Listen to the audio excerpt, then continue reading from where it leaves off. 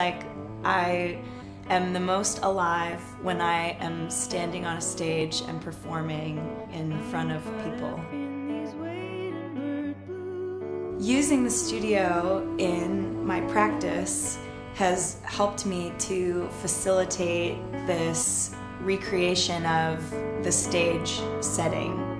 I think the studio is fantastic for the vocal effects. Being able to put reverb on my voice when I'm messing around with a new song, that is such a game changer. Using autotune is a chance to experiment and to, to try something that isn't even traditionally used in my style of music. The studio allows me to record a demo.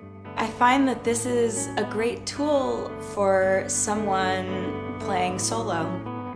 So to be able to tote something around in one hand and to show up at, at a random street corner or in a, an intimate home setting.